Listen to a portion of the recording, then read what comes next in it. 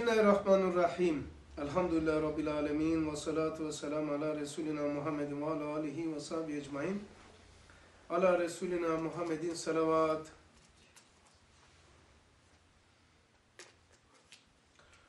Ölüm korkusu ve hiçlik. Aynı zamanda akıl ve vicdan. Ölüm korkusu ifade edil, edilemeyen hiçlik korkusundan hiçlik korkusunun dışa vuruşudur.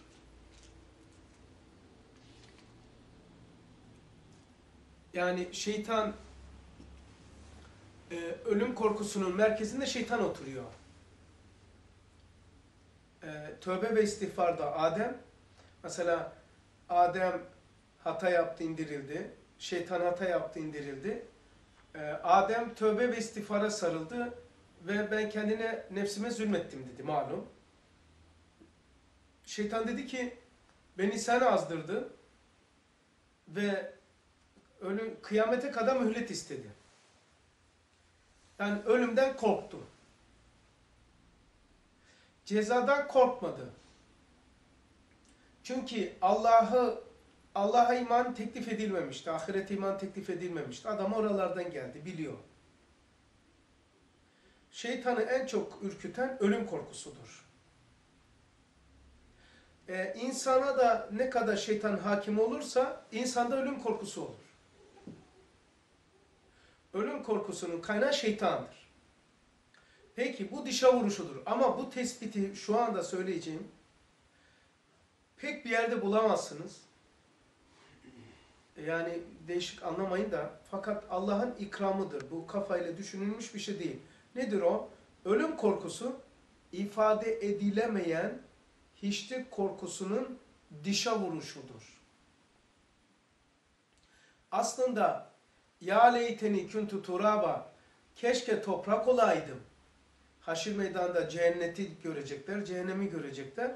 O kaybedenler bile keşke hiç olsaydım, keşke olmayaydım demeyecekler. Keşke hiç, hiç olsaydım demiyor. Keşke toprak olaydı, toprak olsaydık. Niye peki toprak e, mesuliyetsiz bir dünya ve e, bunları neşünemalandıran bir zemin? Hiç olsaydım demiyor. Yani e, ölüm kor şey, ölüm korkusu aklidir. Hiçlik korkusu vicdani ve ruhsaldır. Ustad diyor zaten vicdanımdan sordum diyor. Sana bir milyon sene ve dünya saltanatıyla beraber sonunda hiç olacaksın. Veya kısa bir müddet dünya sonra ebedi bir hayat olacaksın. İkisini of be dedi ne güzel. Birincisini ah çekti. Ve e, cehennem dahi olsa beka isterim. Bu vicdani bir şeydir. Usta diyor ki vicdanın sesidir. Bazılar şöyle diyebiliyor. E, ya ben cehennemde niye yanayım ki? Hiç olsam hiç olsam daha iyi. Bu buradaki konuşmamızdır. Bu nefsanidir. Bunu söyleyen nefistir. Be, e, cehennem dahi olsa beka isteyen vicdanidir. Orada nefis hakim değil, burada nefis hakim olduğu için öyle şeyi e, ben yok olayım, niye yanayım diyen odur. Bir daha söylüyorum. Ölüm korkusu aklidir. Hiçlik korkusu vicdanidir. Ölüm korkusu nereden dışarıya vuruyor? Bu çok önemli ama. Ölüm korkusu ifade edilemeyen hiçlik korkusunun dışa vuruşudur. Bak izah ediyor. Hiçliği aklı, aklın sahasına girmediği için, hiçlik akıl sahasına girmediği için akıl işliği anlamaz.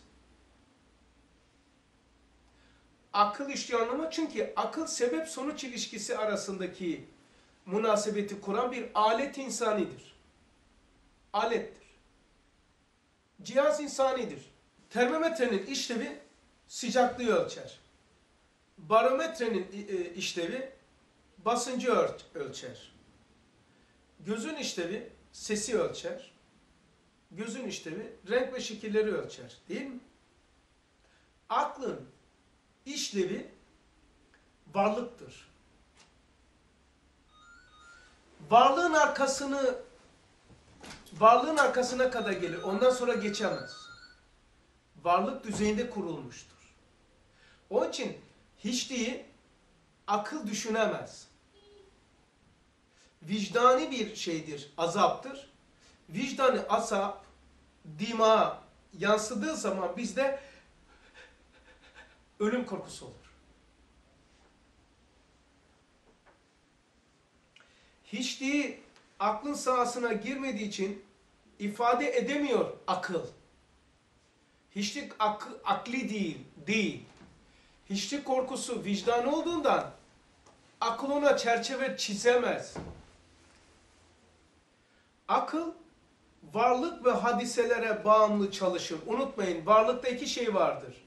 Varlık, eşya, bir de hadiseler. Başka bir şey söyleyebilir misiniz? Başka bir şey yok. Hadiseler, cereyan eden hadiseler, bir de varlık, eşya.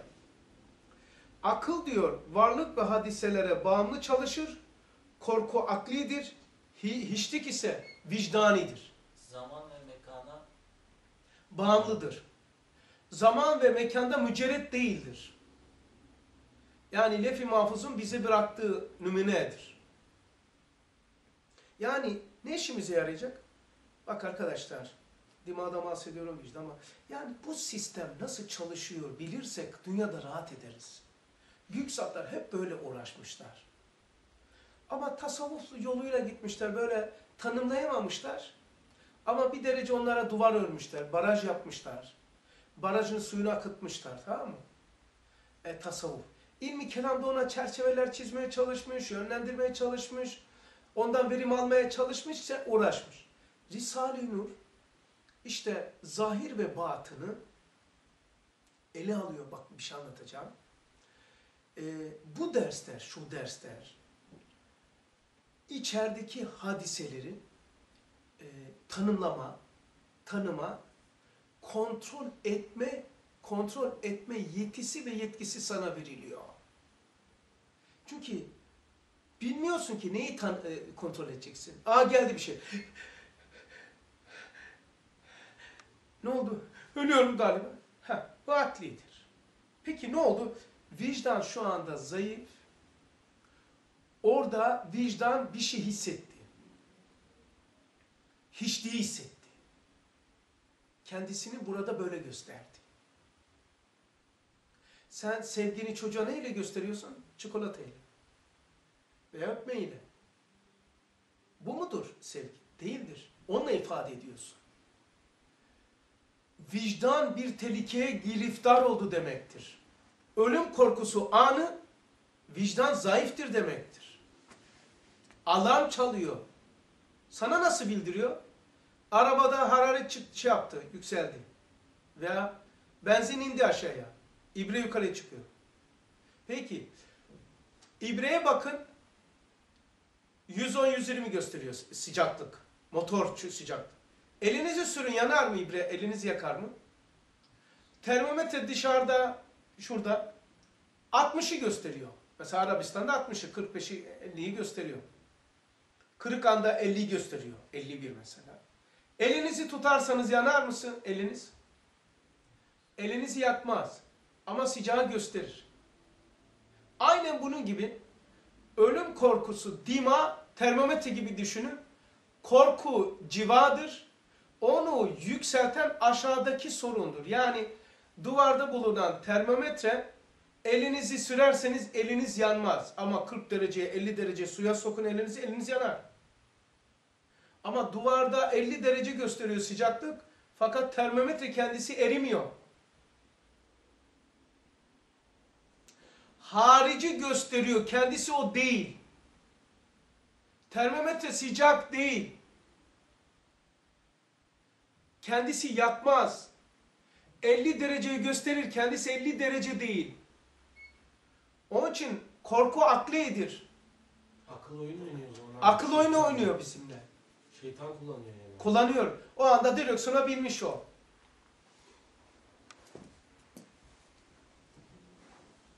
Çok tuhaf değil mi?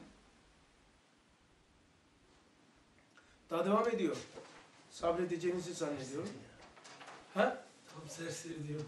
Tam bir serseri ya. Akıl bizimle dalga geçiyor. Ama dalgayı şeytan onunla geçiriyor. Yani direksiyonla direksiyon aklında hiçbir şey yok.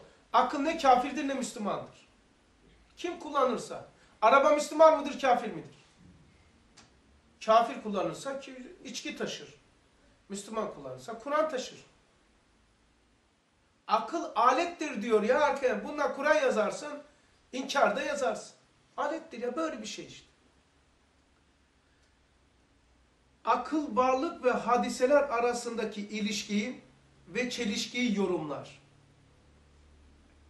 ifade eder. Hiçlik vicdanidir.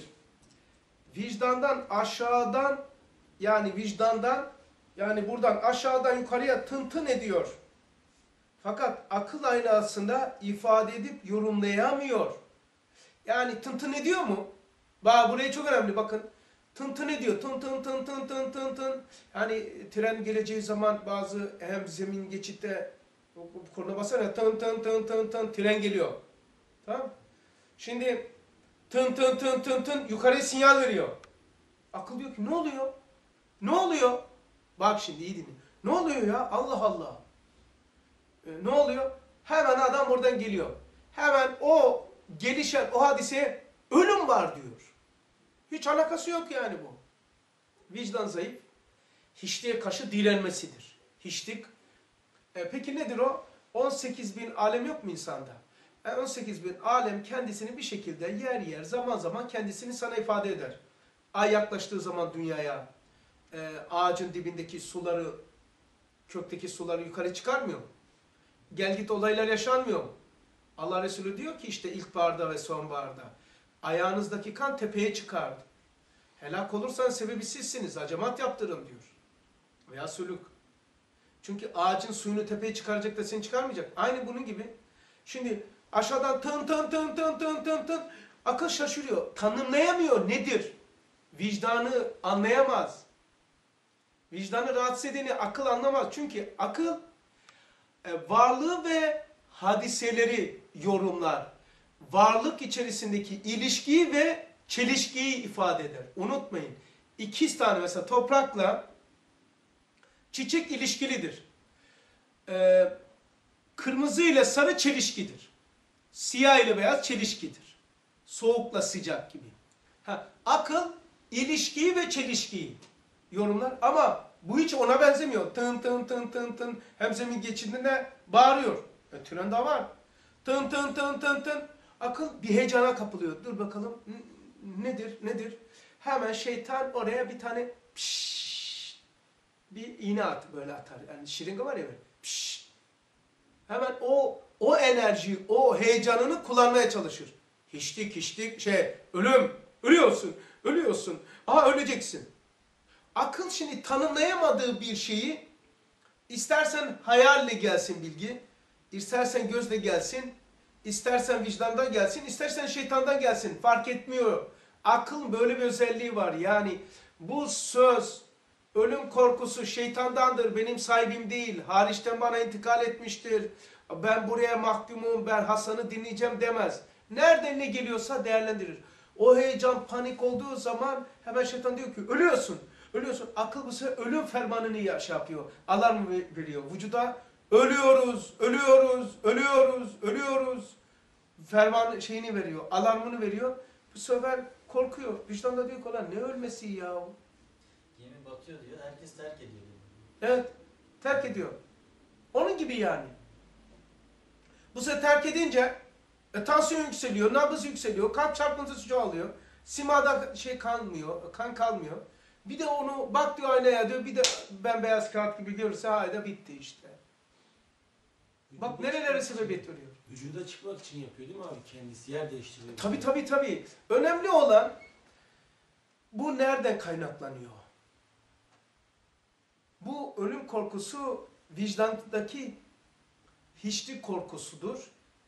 Ama akıl onu yorumlayamıyor, izah edemiyor. Hiçlik anlamaz. Çünkü akıl varlığın e, İhtiyarda kaldığı için. He, yani varlığı yorumlayan bir sistemdir, işlevdir. Varlık, vücut. Hiçlik ise ademdir. Anda, ancak ondan rahatsız olan, elem alan vicdandır. Mesela ses söylüyorsun, gözümü götürüp dinleyebilir miyim gözle? Gözle dinleyemezsiniz, görürsünüz. Kulakla göremezsiniz, işitirsiniz. İşte hiçliği ancak vicdan endişe eder, akıl değil. Vicdanda ne, hangi birimde olduğunu biliyor muyuz abi? İradesi Birimi yok ki onun. genelinde öyle mi? Evet yani yeri yok. Ancak vicdan nasıl oluyorsa bilmiyorum. Niye e, yer yer? Mesela e, vicdanı rahatsız ediyor hiçlik korkusu. Onu bilmiyorum. Keşfedemedim daha. Yani hangi zamanlarda vicdanı etkiliyor, hangi zamanlarda vicdan ona karşı direniyor. Mesela vicdan aslında alarm veriyor. Saldırıya uğradım diyor. Vicdan. Diyor ki akla veya kalbe bana malzeme yetiştirin. Bana malzeme yetiştirin. Ona en güzel malzeme Allah bakidir. Allah ezeli ve ebedidir. Sanatı da, sanatı da Allah ile beka bulur. Allah ile. Allah hiç hiç hiçliğe atmaz bir şey gibi. O itikat malzemelerini gönderince taktiği gidiyor. Hiçlik o zaman o gelen şey basamak oldu abi şimdi. anlamak için basamak oldu. Adem alemleri hesabı, Adem alemleri kendisini ifade etmeyecek mi? Dedik ya on- 18 bin alemin dışındadır Adem alemleri. İnsanda öyle alemler var ki 18 bin alemin dışında alemleri var dedik hatırlar mısınız? 18 bin alem vücudu alemlerdi. Bizde nümuneleri var mı? Ha komutan? Var. Var. Onun dışında bizde öyle şeyler var ki vücutta yok. İşte bir tanesi Adem alemleri. Adem alemlerinin içerisini bilmiyoruz. Ama bir şekilde kendisini vi- vicdanı nasıl rahatsız ediyor? Hangi şartlarda ortaya çıktı? Ne oldu da hücum etti? E, Adem alemleri subhanallah subhanallah demiyor. Bundan ne zaman tamamen kurtulabilirsin? Hiçliğini bilirsen. Çünkü var olan yokluktan korkar. Yok olan zaten ne korkacak yok ki. Ne, ne kadar kendine vücut rengini verirsen o zaman o kadar ademe düşersin. Yani ademe düşersin demek ademi korkular seni sarar. Ademi korkular demek ölüm korkusu sana ifade eder. Bak birbirini tetikliyor. Kendine vücut rengini verdin. Ademe düşersin. Ademe düşen demek ad, vicdanı rahatsız eder. Vicdan ademi rahatsız edince akıl ölüm korkusu olarak anlar onu. Ölüm değil o çünkü Adem. Ölüm korkusu. İşte ölüm korkusunun temeli ifade edilemeyen vicdani ademi bir korkudur. Ademi korku da kendine vücut rengini verme nispetinde aktif oluyor. Kendine vücut rengini verme, ademe düşersin. Arkadaşlar bu anlattıklarım var ya, daha konuşacağım da böyle. Ee, alimleri, büyük büyük adamları o kadar asırlarca meşgul etmiş ki, şu anlattıklarımız ne olur sıradan bir şey zannetmeyin. Hep böyle ne düşünüyorsanız oradasınız ve osunuz derken samimiysen tabii. Şu anda mesela içeriği konuşunca içeridesiniz. Şu anda hepiniz oradasınız. Şimdi ölüm kor şey, korkusunun da aşağıdayız. Adem yani vücut rengini verme. Ya ne olmuş okuyoruz öyle. Hayır ciddi bir mevzu. Niye? Bütün e, olumsuzluklar, hastalıklar, imansızlıktan korkmalar, vesvese, vehim, ölüm korkusu, panik, panik atak, dima ait bunlar tamam mı? Bunlar e, temelde e, ifade edilemeyen Adem alemlerinin içinde ne kadar alemler neler varsa kendisini vicdana ifade ettirmesidir ki o Adem alemleri subhanallah subhanallah diyor. Devam edeyim. Vicdan aşağıdan tın ediyor fakat akıl aynasında ifade edip yorumlayamıyor. Yani akıl hiçliği anlayamaz, izah edemez. Fakat vicdandan gelen hiçlik sinyallerini akıl bize korku, ölüm korkusu olarak gösterir. Çok- Nasıl bir cümle? He? Nasıl bir cümle? Yani Allah'ın bir ikramı. Mesela bu akşam bir rüya gördüm. Harika vallahi böyle. E, rüyanın bir parçasını söyleyeyim. Doğru veya yanlış bana ait. Din değildir. Terk ed- reddederseniz din değil. Bak o rüyanın bütünlüğünden diyeyim. E, değil bir şey dedi de kapıdan çıkarken adam bir tanesi bana dedi ki rüyada. Rüyada bir saraydaydık. Bak bir şey anlatacağım. Bak bak burada. Hem de en sona. Rüyamın en sonu. Büyük saray mı küçük saray mı abi? Ya bir saray işte. Var.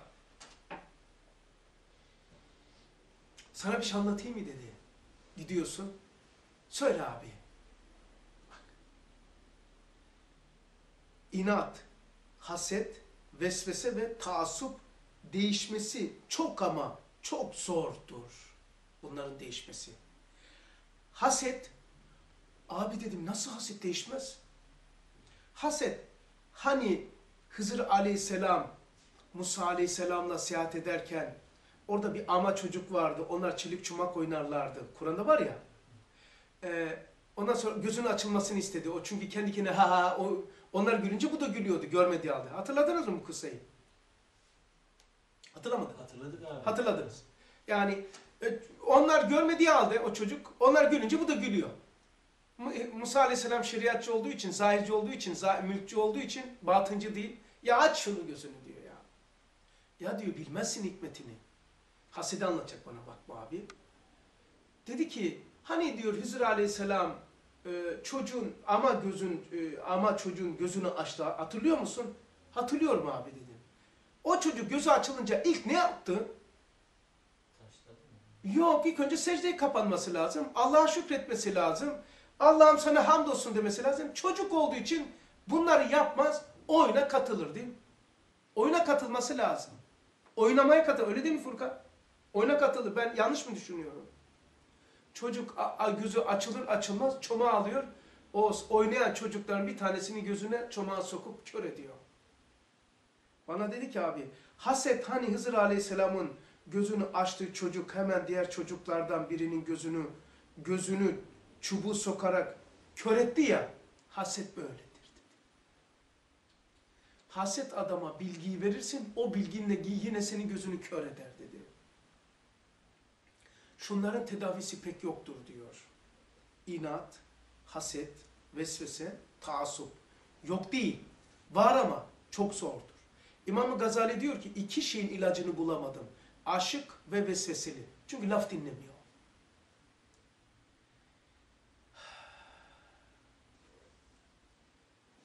Niye? Kimlerde daha çok olur dedim. Abi kimlerde olur dedim. İyi dinleyin burayı da. Sarayındır. Abi kimlerde? Bunlar zekilerde olur. Dedi. Akıllarda olmaz dedi bu. Abi ne demek dedim. Zekilerde nasıl olur bu?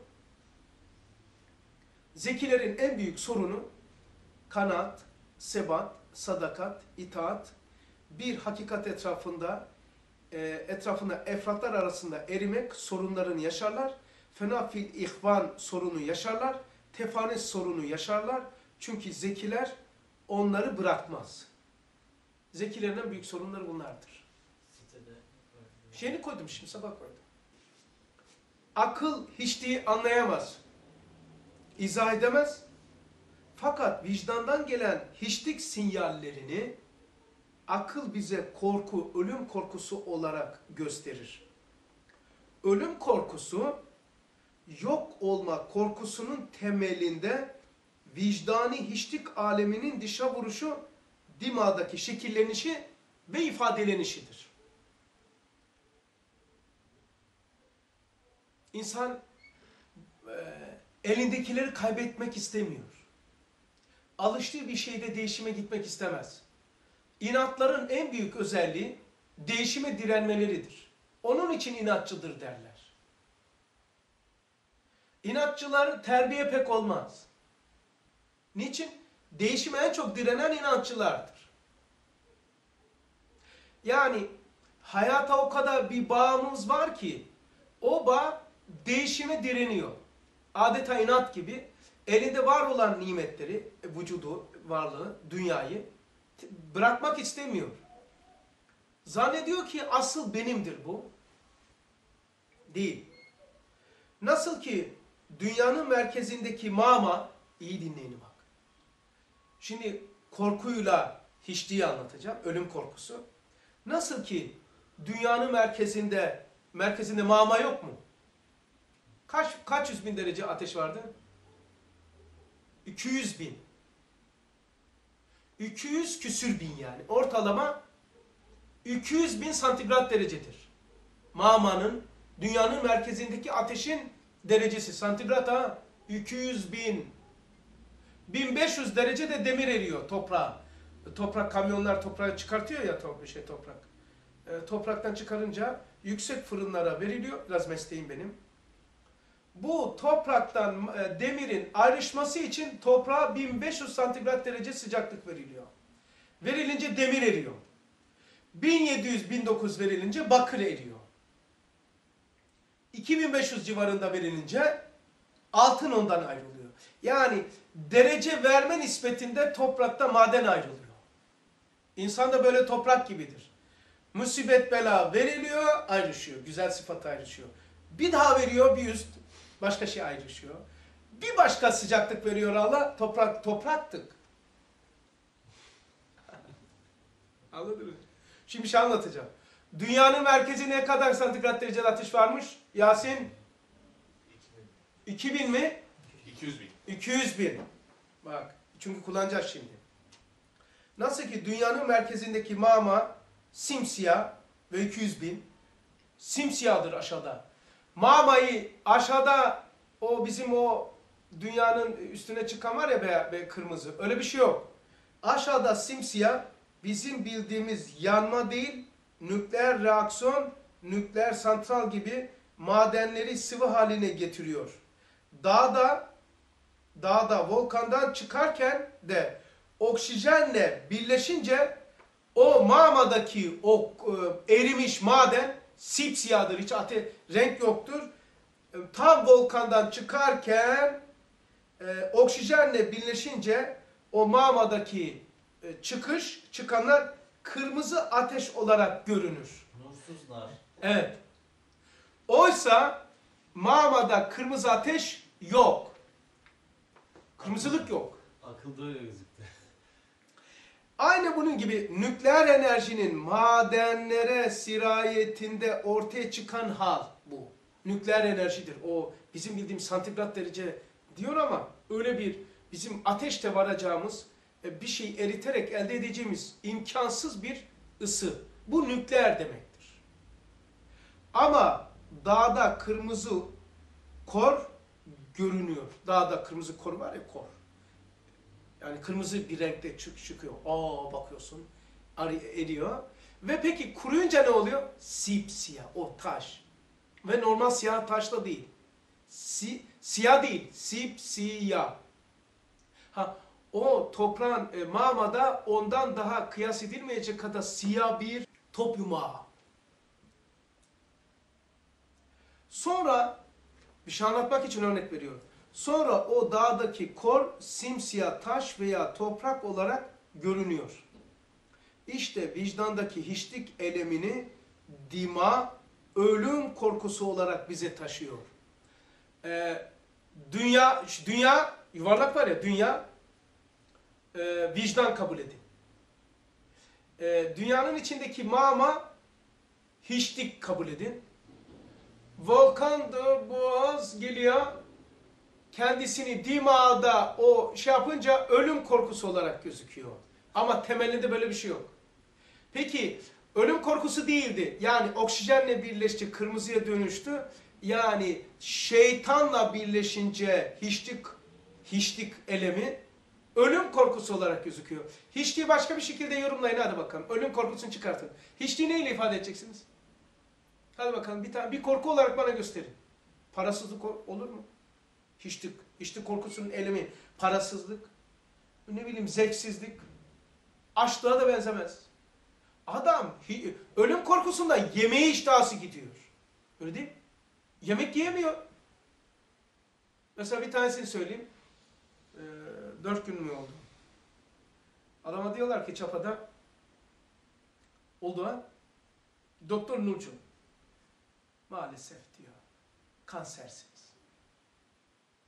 Adam eve gidiyor hanımına diyemeden merdivende ölüyor. Kanserden ölmedi ha. Nereden öldü biliyor musunuz? Kalp krizinden öldü. Esbab noktasında da ama öldüren Allah'tır. Görüyor musunuz? Yani aşağıda peki ne için kalp krizi? Kanserlerine ölmedi. Ölüm korkusuyla öldü.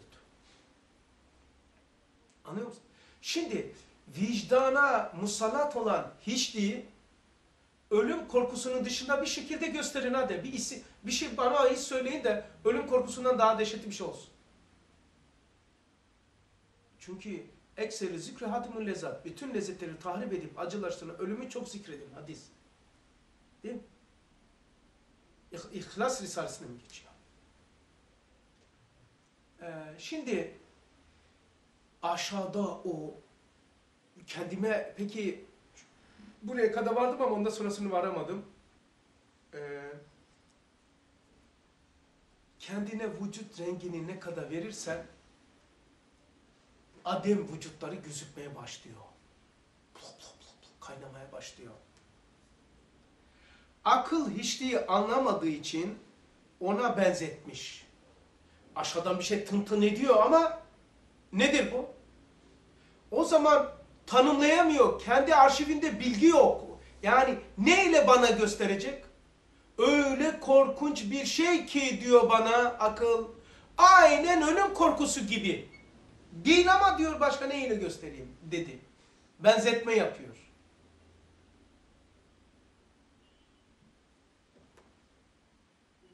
Akıl hiç anlamadığı için ona benzetmiş. Ne yapsın akıl? Hiçliği anlamaz ki. Çünkü hiçlik vicdani bir elemdir. Korku ise akli bir elemdir. Korku aklidir. Haf kalbidir. Hiçlik vicdanidir. Mesela ölümün hakikatini keşfeden kamil insanlar ölmeden önce ölmek istemişler. E biz ölümle korkuyoruz. Ölümün hakikati derken vicdaniyatını keşfetmişler. Adem alemlerinde sıyrılmışlar. Korktuğumuzda da korkutuyor bizi. Kork he? Korktuğumuz şeyle de korkutuyor. Korktuğumuz şeyle korkutuyor. Aslında bu cümlenin dışında alternatif bir cümlem var. Ben buna katılmıyorum. Korktuğumuz şeyle korkutuyor. Değil bu. Korktuğu, korkurt, korktuğu şeyle bizi korkutuyor. Bu korku şeytanidir. Ölüm korkusu şeytanidir. Ölüm korkusunun kendisine aittir. Korktuğu şeyle bizi korkutuyor. Çünkü niye? Ee, indirildiği zaman e, Darüsselam cennetin e, tabakalar var. Cennetten indirildiğince komple zannediliyor. Oysa bir tabaka var. E, be- dünya hayatına çok benzeyen bir yerdir o. Darüsselam.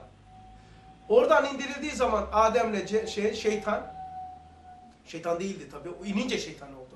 Yani dünyanın merkezinde ateş yoktu. Acayip bir şeydi kor. Dışarıya çıktı. Oksijenle birleşince kıpkırmızı oldu. Yani şeytan burada kırmızı oldu. Orada değildi yani. Anladın mı? Orada öyle bir şey yoktu yani. Geldi buraya nasıl oluyorsa bu dünyada şeytan oluyorlar. İndi aşağıya adam ne dedi? Beni sen azdırdın dedi elini kaldırdı. Kıyamete kadar mühlet istiyorum ya Rabbi. Hadi sana diyor mühlet verilenlerdensin diyor. Hemen ölümden korktu beni öldürecek diye. Hemen hemen öm- ömür istedi. Adem Aleyhisselam da hemen cezalandıracak, şey yapacak şey de- demedi. Ya Rabbi nefsime zulmettim. Haddini bildi yani. Ölüm korkusu yok orada. Beni öldürecek, kesecek, cehenneme atacak. Ateş de yok, cehennem de yok. Hiç, şey de yok, şey de yok. Ee, hiçlik şey de yok. Ee, ne dedi? Dedi ki ben kendi nefsini, nefsimiz, nefsime zulmettim. Ben senden tövbe ve istiğfar istiyorum. Tövbe ve istiğfara sığındı. Tövbe fiiline ve istiğfar. Tövbe, istiğfar. Tövbe, istiğfar. Şeytan ise e, Adem alimler hesabına çalıştığı için ölümden korktu. Bana beka ver diyor yani ömür ver. İşte korktuğu şeyle bizi korkutuyor. Korku bizimle alakası yok çünkü o. Ona delilim çocuk ölümden korkar mı? Şeytan musallat olmadığı için. Sığır ölümden korkar mı? Şeytan musallat olmadığı için. Deli ölümden korkar mı? Şeytan musallat olmadığı için. Alimler, ölümü isteyen alimler ölümde korkar mı? Şeytan yanaşamadığı için. Ortak noktası akıl abi. Evet. Orta akılla giriyor, başka giremez. Yani aklı kaldırırsanız şeytanın giriş yolu yoktur. Yani tasavvur yani. Akıl derken diman mertebesi var. Tahayyül, tasavvur, taakkul. Yani şurayı kastediyoruz. Akıl demeyelim de. Sülüm olur yani. Adama böyle bir cevherdir. Çok kaliteli bir cevherdir. Yani şeytan buradan değil de tasavvurdan. Vücut rengi veriyor değil mi oradan? abi? Evet. Yani Adem alemleri burada ifade ediliyor aşağıdan buraya. Hep böyle. Nereden kaynaklanıyor biliyor musun Harun? Ee, kendine vücut rengini vermekten kaynaklanıyor. İşte ve hiçliğini bilmek. Hiçliğini bilmek ne demek biliyor musun? Ee, Adem alemlerinden sıyrılmaya en büyük vasıtadır, zemindir.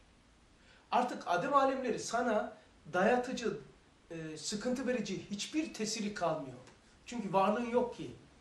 Adem alemlerinde vurduğu dalga, önünde bir şey varsa deniz vurur. E, sen yoksun ki ademi bir musallat olsun sana. Ne yapıyor Cenab-ı Hak? Kendine vücut rengini verme nispetinde sana dalga vuruyor. Ne kadar? Ne devirene kadar seni, aşındıra kadar. Karadeniz'in suyu yumuşaktır. Sudur yani. Kayalar çok serttir. Öyle değildir yani. Paralel değildir. Diktir. Akdeniz'in kayaları böyle değildir. Akdeniz böyle paraleldir. Karadeniz'in dağları denize öyle T gibidir. Ters. O kadar sert olduğu halde vura vura vura vura oyuyor. Hiç, şimdi de biz kendimize ne kadar vücut rengini verirsek, kendimize güvenirsek, yani Allah'ta fena olmasak, o Adem alemlerini Allah bize musallat ediyor. Vurdukça vuruyor, vurdukça vuruyor. Oyana kadar seni. Adem alemleri vicdana hücum ediyor. Kalbe hücum ediyor. Ruha hücum ediyor. Ama e, akıl aşağıda tıntınları duyuyor. Fakat ne olduğunu bilmiyor. Çünkü Adem diye bir kavramı yok. Adem diye bir malzemesi yok. Onun yorumlayacak formülü yok. Malzemesi yok, bilgisi yok. Akli bir şey değil. Risale-i Nur'u bilmeyenler de anlatamazsın bunu. Adem.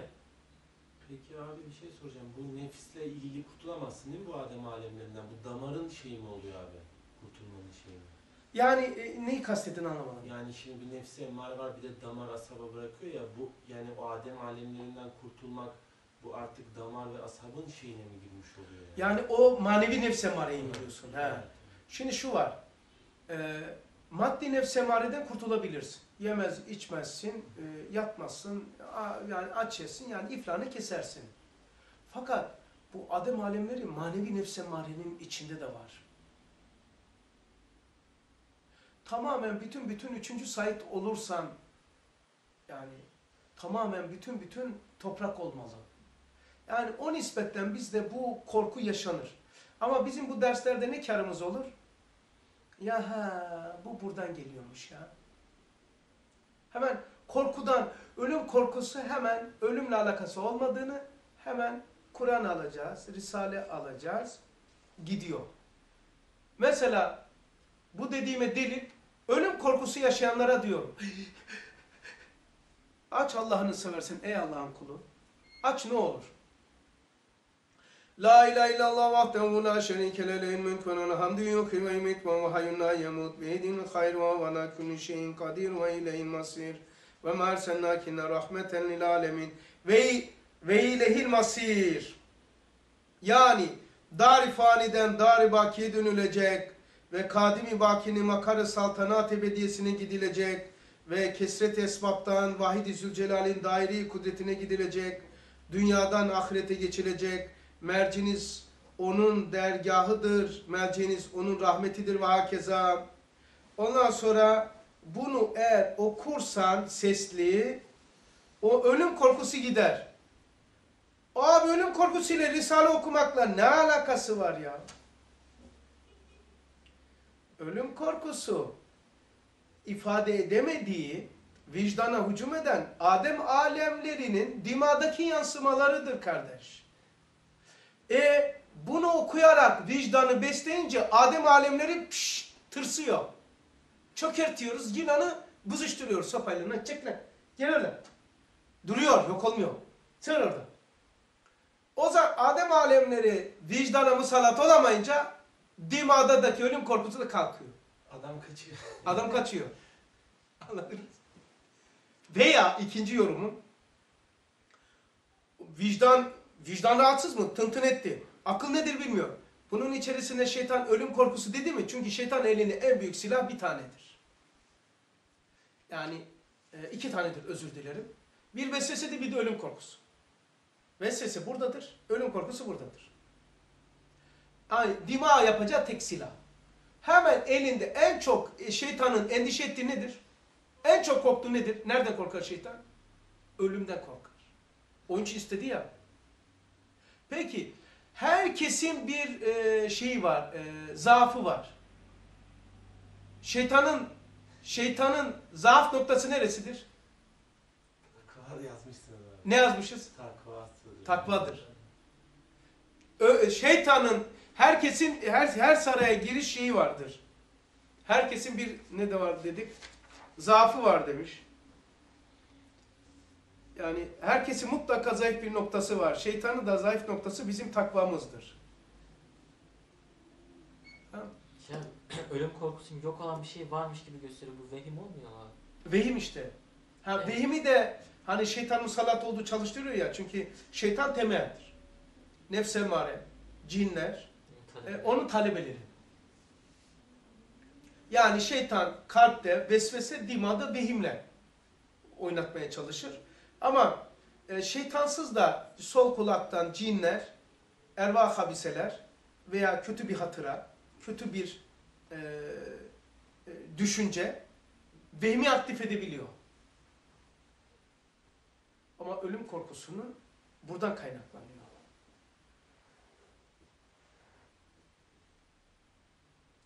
Peki burada keselim. Neredeydik zaten? Dakika oldu abi? Ha? Kaç dakika olmuş? 40 dakika. Yani Bitti mi? e, bitti sayılır diyelim. Neredeydi zaten? Kaybettik. Kaybettikse kaybolmuştur. Kaybolmuşsa kaybolmamız gerekiyor. Ve ahir davahum enelhamdülillah rabbil alemin. El Fatiha.